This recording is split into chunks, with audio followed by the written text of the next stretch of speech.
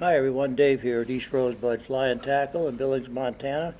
Welcome this chilly winter morning. I'm going to tie a fly with a product we've had here for a few months called Jerry's Fly Foam.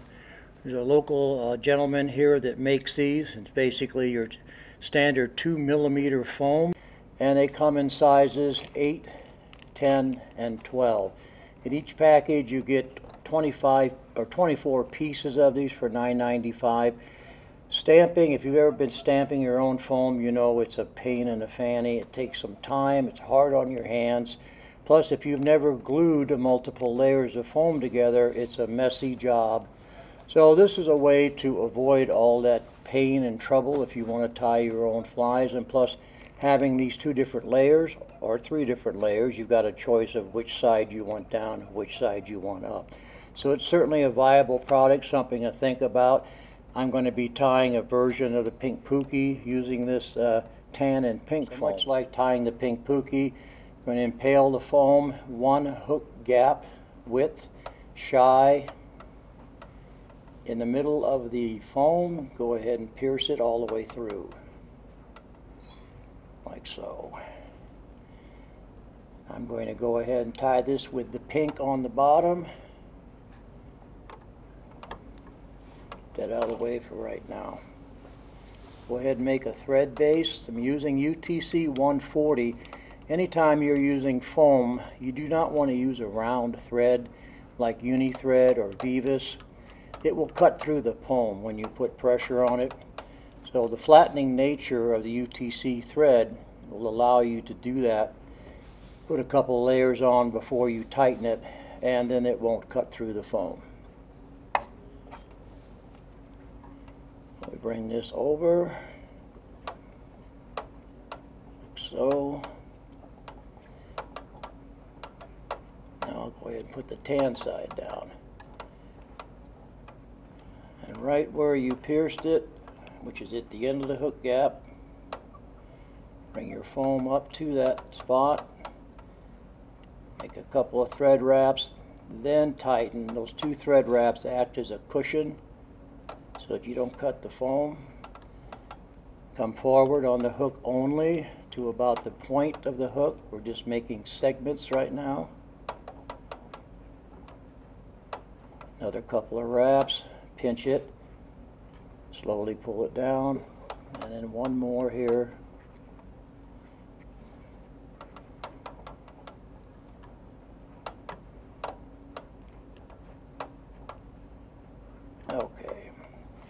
Instead of making my last segment here, I'm going to go ahead and tie in the wing and the legs, the indicator, and then I'll finish that up.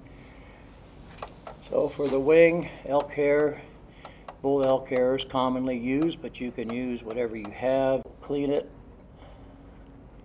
and stack it.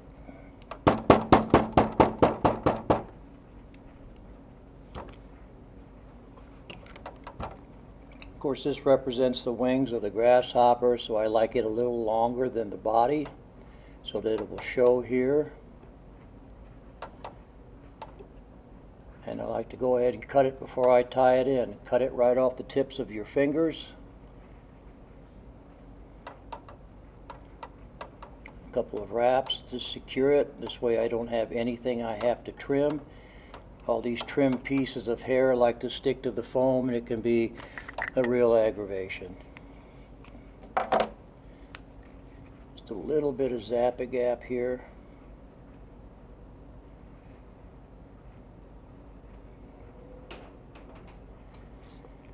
And for the legs, I'm just going to use a combination front and back legs. I've taken a couple pieces of this barred Sexi floss, just tied an overhand knot in it. You generally want the hinge part of the rear leg to be right at the end of the body, about there. We'll trim that up in a minute. This will be our front legs. All these thread wraps go directly over this wrap. Let me get a second piece on my side. Same thing, kind of line up the, uh, the knuckle of that leg. Two wraps. Now I'm going to fold everything back out of the way and bring my thread forward to about one eye length behind the eye.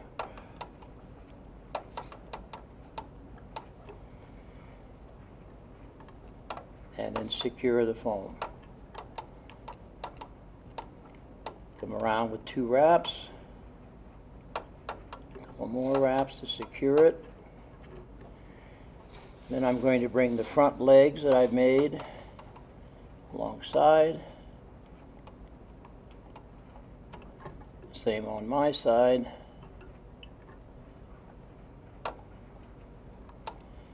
Just make sure you keep them right on the sides of the body. A Little bit of indicator foam. You can use a lot of different things. This is just a strip of two millimeter orange foam, but you can use any kind of bright material you want, polypropylene, whatever you like.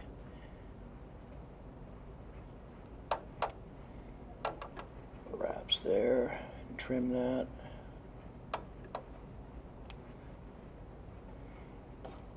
And I'm going to whip finish on the top of that.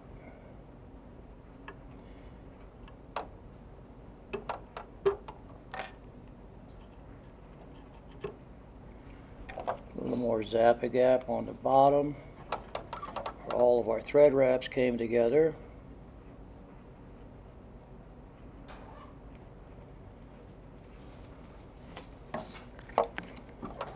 And you can trim this head to whatever shape you like. You round it, make it a sharper angle.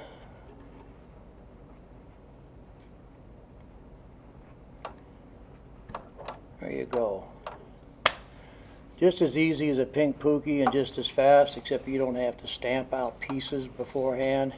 So think about Jerry's fly foam. We have it in stock, say, in all, uh, in both the two layer and the three layer and all eight color combos. Thanks for joining in. We'll see you next time.